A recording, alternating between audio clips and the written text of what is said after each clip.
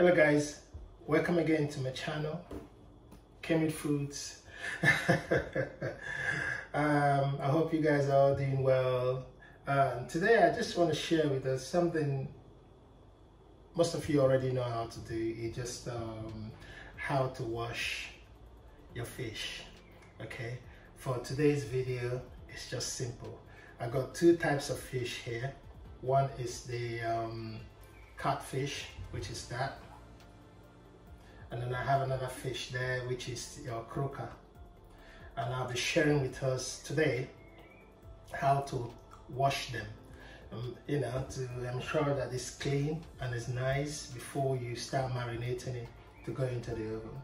Okay, um, if you watch my previous video, you will know for fish, because of the smell, I like to um, cover my hair I can't stand the smell. I like fish, but I can't stand the smell lingering in any part of my body. So yes, I'm gonna wear my scarf just to um, cover my hair.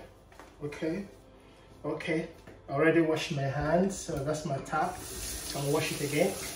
Okay, as you do, um, some detergents or soap, as they say.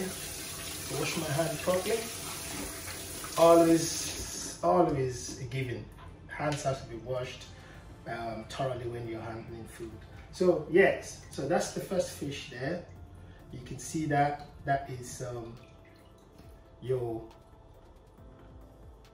catfish with all the things there with the sorry the um, whiskers there and the you know look at that fish okay now the first thing you notice is that look at the belly of that fish it's clear is white. See? So, being someone who grew up in the riverine area, um, I like my fish this way. Okay, this is the, for my, in my own opinion, this is the difference between a fish that was caught in the sea and a fish that was um, that was um, grown. If, if you understand what I'm saying, like farmed or whatever. So, because this is an indication to me of the kind of diet this fish had. You see, and that's a big thing for me. Okay, so looking at it, the belly is clear, it's not black as some of them. You know, I have. It's not. I'm not talking about whether the fish is farmed or whatever. That's not the point here. Point is, I prefer my fish to look like this. This is an indication of the kind of diet this fish had. You see what I'm saying? And it's very important to me. So when I want to get the catfish, I try and get the ones that were caught in the sea, all right, rather than the ones that were farmed. And the difference is you would notice the chain, the difference in the belly. Look at the belly. The color will be different. This is clear, almost, look at that. You won't be able to tell if that was a catfish if I covered the head. Just clear, really nice, okay? So you want to start cleaning the fish from the belly. You want the belly to look nice like that. All clear, there's no debris in there. You know, you have your good running water to wash it down. And because it's catfish, I like to use a bit of salt, just normal salt. Just rub the salt on it, okay? Yes. You know, like salt, what salt is? Your salt is just too powerful okay helps you to clear any bacteria anything that is in there that you don't want you know that's not good for you the salt will kill it. See what i'm saying?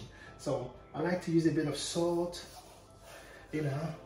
Yes there's a worry that it might make the fish a bit salty but that's why we have the running water. So as soon as you rub the salt all over the fish you know put it under the running water wash it away you know, look at that.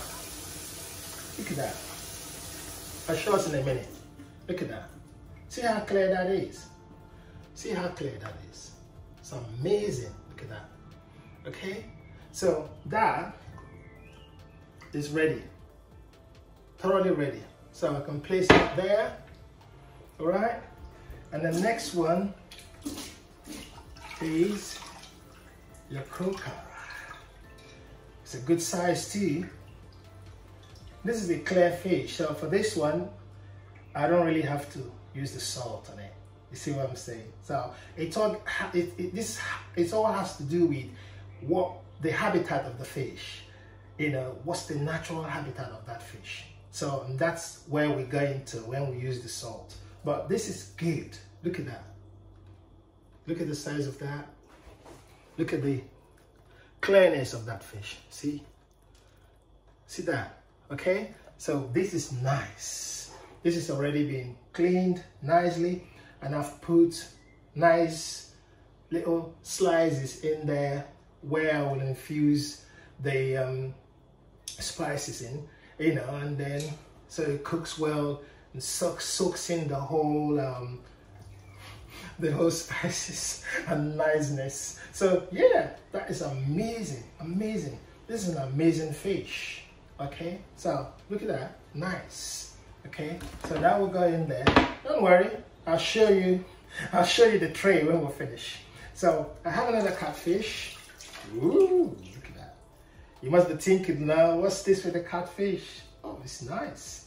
Okay, again, look at the belly. You can see that this is clear, but it's not as clear as this one. See that? So I know that this one had a better diet that is organic diet than this one had. You see that? Because you can see the way the belly, the color of this one is clearer than that one. Okay?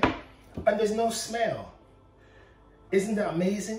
There's no smell with this fish. It's just um, nice. Again, a bit of salt, rub it down. Okay? Rub it down. You know? Let's get some salt in there. You know, rub it down and then run it under the water. Okay? You get the gist now. Yeah. So you run it under the water and let it drain. And then we'll place it there with the rest of the crew. There's one more. Okay? Yes. Now you see that? See how clear that is? All the way, all the way to the tail. You can see the white streak there, all the way.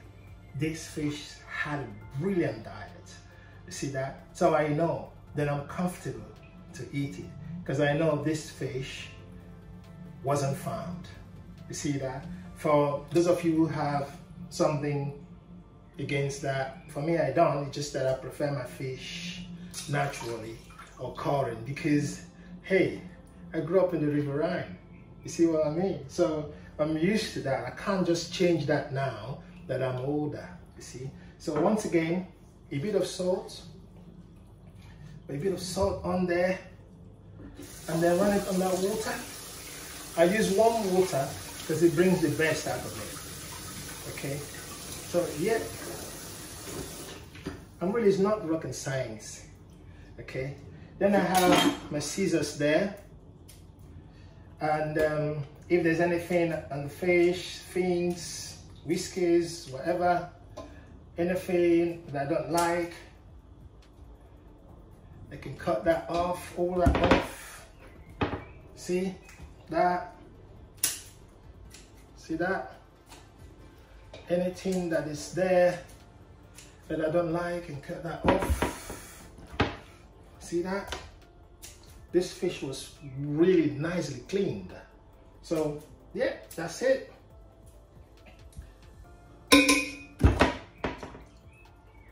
And the fish is ready, okay? So here you go. Look at that.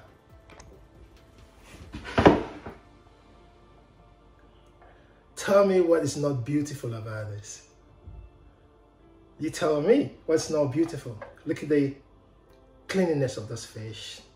So the way it's all looking nice, all clean. A little bit of salt, pepper, all the stuff, the spices, voila, into the oven. And this just comes out brilliant. See? Look at that.